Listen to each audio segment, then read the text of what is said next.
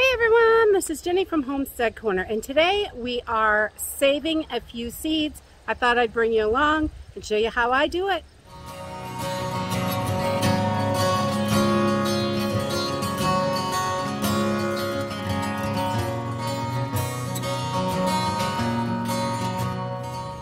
So today we're saving seeds from a couple of different plants and this is a green onion. These are just gigantic. I let these ones go. We have other ones that we keep trimmed and we eat. But these are great little seeders. So you can see in here, I just let these flowers stay and completely dry out. I just want them completely dry. And I've got a little bag here that I just wrote green onions on. And I'm going to put that right in this bag. I kind of just trim it so it falls right in the bag. So then, let's see, we'll put a couple in there. Let's put this one in there too. And you, you can see the little seeds on here. So I'm just going to close my bag up. And you want these to be good and dry. If it's really rainy, you could just leave them in this bag. I throw them on the fridge for a week or so or it's been pretty dry here, so I'm just going to shake this bag. I just shake the dickens out of it, really, that's it. and then you open it up and you take those two flower heads out. You have got millions of little seeds in the bottom. So then when you pick through, let's see if we can get a good view of this. You just move those little seed flower pieces out and you can see all these little black seeds. And these are your seeds. This is the same for your green onions, your onions. Uh, if you let some of your onions go to seed, you will be able to get seeds off those as well. Super easy, super quick. Let's go look at some beans. Okay, so we've got these green beans. I've let these go. They got kind of big before I picked them. And like, we love these little tender ones. We pick these right off and eat those. But if you get some that are too big, just leave them on there. I leave mine until they are dry. You can see they're starting to change color. They're getting lighter. And any beans that I grow I do this the same way. You could do this with peas as well. And once they are completely dry then you can they kind of rattle a little bit. Even if they don't rattle once they're completely dry when you bend it just a little it's going to crack. And then you could take your bean seeds out and they are all in there and that's what you want. I just let them go till they're completely dry and then I just leave them right on the vine. I don't even bring them in until they're done and then I'll let them lay them out flat all the bean pods. We just lay them out flat and let them just sit and uh, for like a week before we package them up. Super simple and easy. Let's go look at some cucumbers.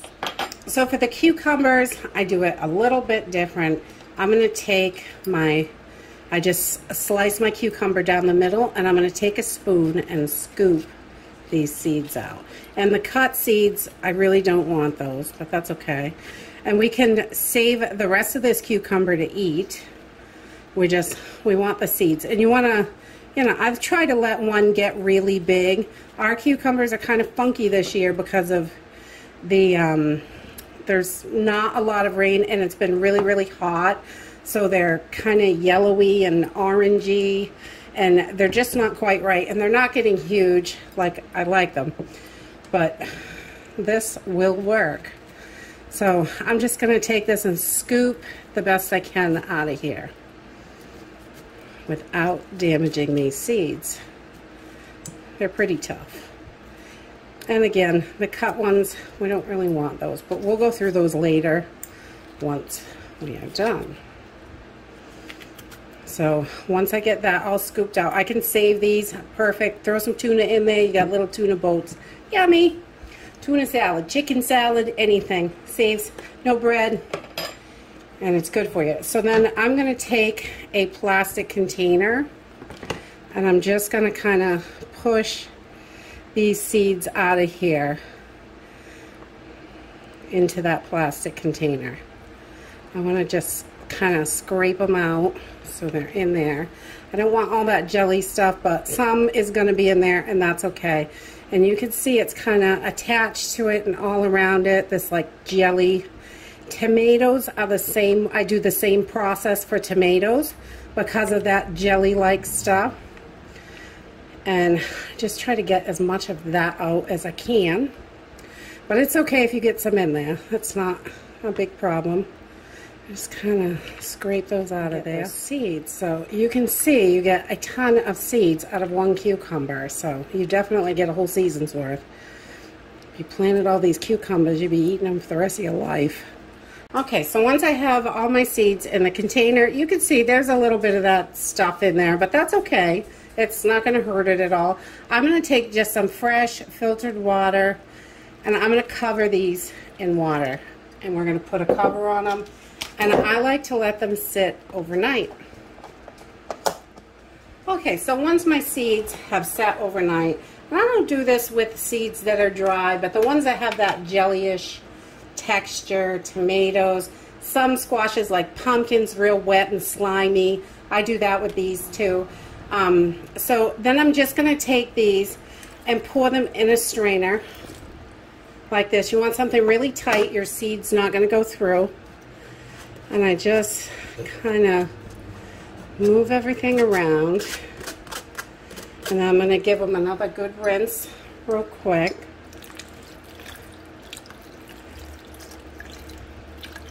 And I save that liquid because it's real good in the garden. You can, you know, don't throw out that water. Good for your plants. It's got all kinds of nutrients from the cucumbers in it. So you can see these seeds are cleaning up nice. So then I have got just a piece of brown bag or you can use paper towels. Try not to use anything with ink on it, but you know, whatever's free, cheap, whatever's hanging around the house. Paper towels work really good. Um, and then I'm just going to take these and I'm going to kind of lay them out in here. I want to get the seeds and try and I try to pick out as much of that green stuff as possible, but you know, nothing's perfect. Once it dries, it's much easier to separate it. And, but you get the gist of this. And then I just, I do it on a piece of paper towel or bag big enough so I have my seeds laying here and lay this out. And I will just take a Sharpie and write cucumber just so I know what's in there in case I forget. Usually I can tell by looking at them, but sometimes my brain doesn't work. And if you're not real good with seeds, it's always a good idea to label them. Uh, Because when I look at seeds, a lot of times, I've been doing this long enough, I know what the seed is by looking at it, or pretty close to what it is. There's a lot of different squashes, and the seeds look very similar. So I'm just going to keep picking these out and then we'll move on to something so else. Once I get all my seeds in here, I'm going to leave them in this for probably a week or so. You want to make sure they're good and dry. This top layer is going to keep dust out. It helps dry it up. And wherever you have a spot, I try not to lay anything on top of this. I want the air to circulate and the paper helps dry it out. So that's um, I'm not, I'm going to leave these just on a shelf or a counter or wherever I have space, the top of a bookcase, on top of the fridge. Those are all good spots. Just for like a week and then check them. And if they're dry, we can package them up. Sometimes they take a little bit longer, depending on the humidity in the air. So we just leave these like this. That literally is it for this and then packaging them so into whatever you're going to package them in to make them last. Okay so I've got a bell pepper here. These are the easiest ever. That's the easiest thing in the whole world. Um, I'm just gonna pick this up and I'm gonna run my fingers on this and drop the seeds these seeds are dry so you really don't need to rinse them You don't need to do anything. And these last for years.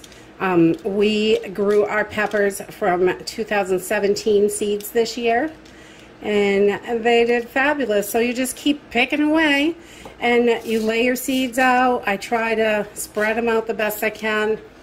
And again, I write bell pepper on the top so I know what's in there.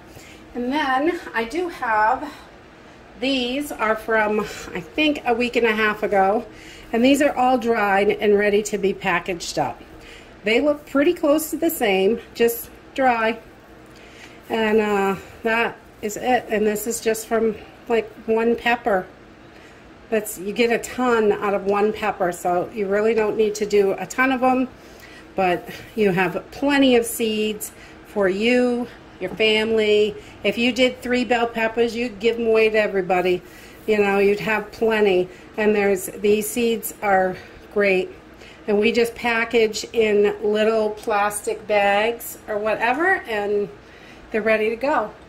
And that really is it for seed saving. If your seeds are wet and like jelly-like on them, I soak them overnight and then try to get as much of that jelly off and rinse them in the morning.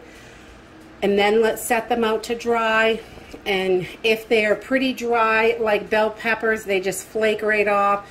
Or um, usually your zucchinis and your crooked neck yellow squash, those are pretty dry in there. They're not slimy or anything. So I just lay those out.